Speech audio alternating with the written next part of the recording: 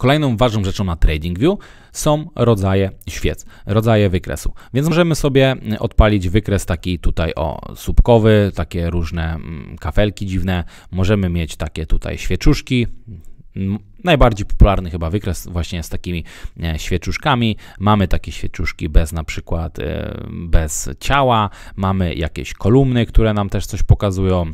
Mamy też wykres liniowy, bardzo często używamy. Mamy taki zmodyfikowany e, wykres liniowy, którego ja czasami używam, mm, jakąś tam linię też na wykresie e, liniowym, tak, taką baseline, e, high, low, więc też mamy właśnie rodzaj wykresu liniowego. Dużo Heikiashi, więc też są świeczki, których niektórzy traderzy, nawet ja czasami e, używają, więc najbardziej popularny wykres to jest po prostu taki.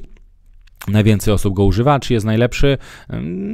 Nie wiem, tego ciężko powiedzieć. Po prostu zależy od strategii, zależy po prostu. Mm, na co zwracamy uwagę i w czym nam ten wykres ma ułatwiać albo przeszkadzać, taki wykres po prostu bierzemy pod uwagę. Więc dużo różnych fajnych, ciekawych tutaj wykresów, points and figure, nawet nie mam zielonego pojęcia co to jest, e, ale wygląda, wygląda zagadkowo, więc troszkę tych, troszkę tych rodzajów wykresów e, tutaj znajdziecie.